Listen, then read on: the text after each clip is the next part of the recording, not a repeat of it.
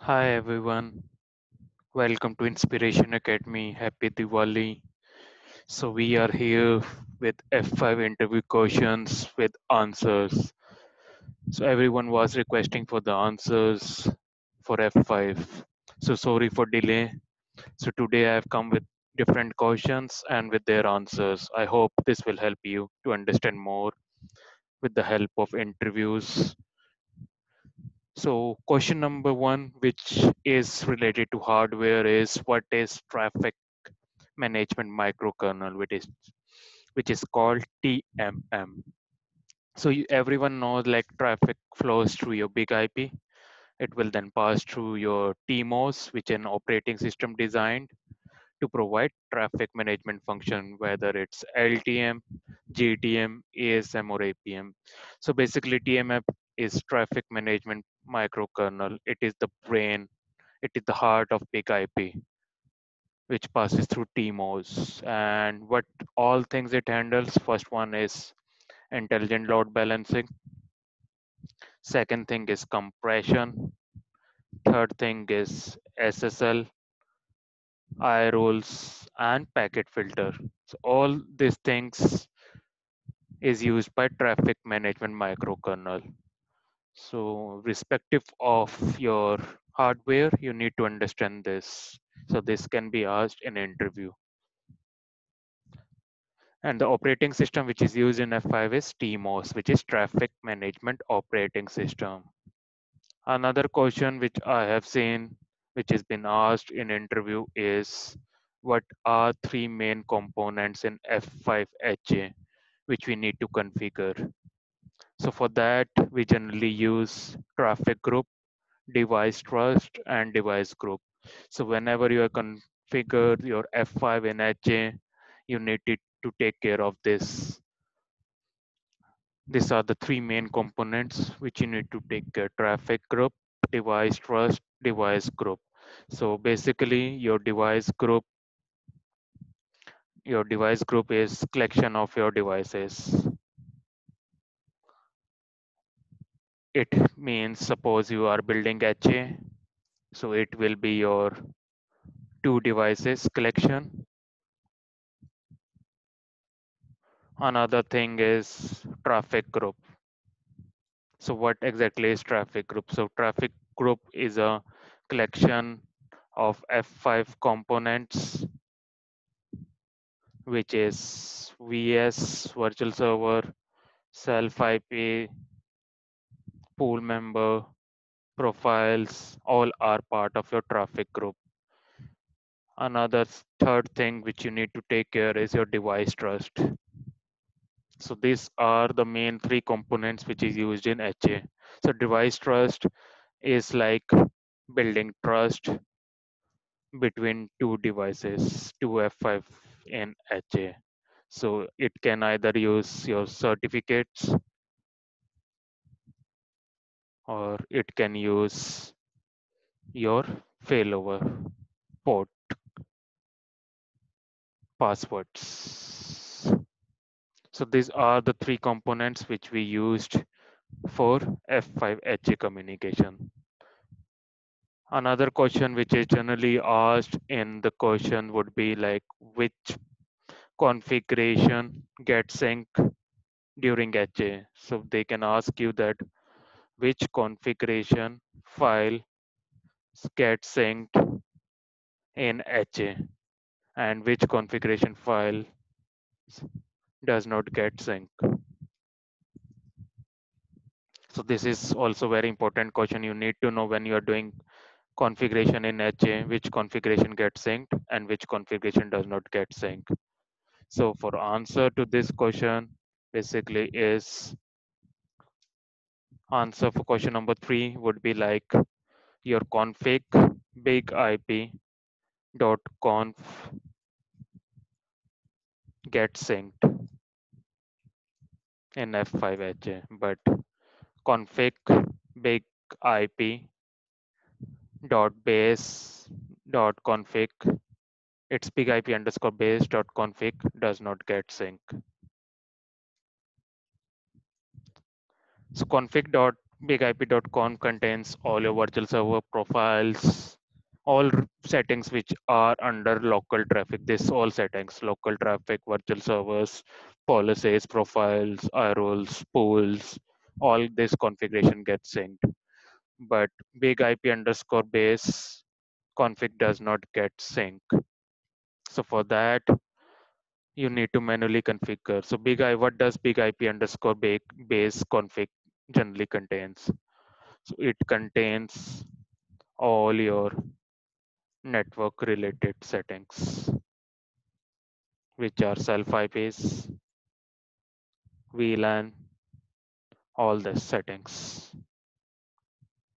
Another important question which generally they ask is which port is used for network failover when we configure HA, F5 in HA. So the port number which we used is port number 1026, which is UDP port. Another question generally which people ask like suppose I need to upgrade my F5 box. Okay, I need to upgrade my F5 box. I need to see what's the difference between my current version and the version which I'm going to upgrade. For that, F5 has an iHealth diagnostic tool where you can just collect QKView and upload and you can use iHealth upgrade advisor which will help you to understand. So it's a great tool which is provided by F5. So link is ihealth.f5.com. Anyone which has an access to F5, they can take QKView and they can upload and they can see the difference. So F5 up network upgrade advisor would help on that. Another question which generally ask is by default, F5 stores how many files or log files in LTM. And suppose if I want to see logs for one month ago, will I able to see? So for answer for this is no. So by default, F5 stores eight files, log files. And you can see that from CLI. So you need to go to CLI and run this command. List sys db log rotation log. So here basically you can see that value is 8. So how to see different files? You need to go to cd. First you need to go run run util bash. Then you need to go to cd slash where log. Then you can run ls minus l grep ltm. So since it's a virtualization, so I'm right now the it has just these logs. So by default, you will see dif different different patterns like LTM dot three dot zz, LTM dot four dot zz. So to see the logs of LTM dot three dot zz, you need to run cat sorry zcat ltm.3.jet to review contents of this file. Since it's compressed, cat would not work. So you need to run zcat.ltm.pre.zz. Another common question which is asked in interview is what is config sync process in LTM. So basically, it's a configuration synchronize process which is used to synchronize configuration from active to standby.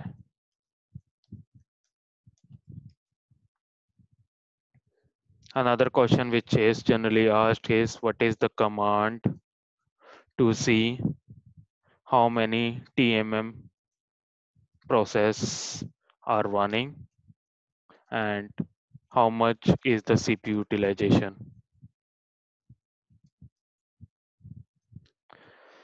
So basically you can run this command show sys CPU in CLI or show sys TMM info. It will give you the details of how many TMM process running and in each TMM, what is the CPU utilization. So when I go to CLI, I can run, I, I can go to TMOS and I will run show sys TMM traffic. So you can see how many bits are coming, how many errors are there. You can see everything. So it depends on your versions, like how many TMM are supporting and how many processes are running right now, how to see CPU. What is the command to do failover from CLI? From GUI, it's very easy. So sometimes some people ask the question like, suppose if you don't have access to GUI, how you can fail over from active to standby. So to run this command, you need to go to CLI, run sys failover standby. So device will become standby.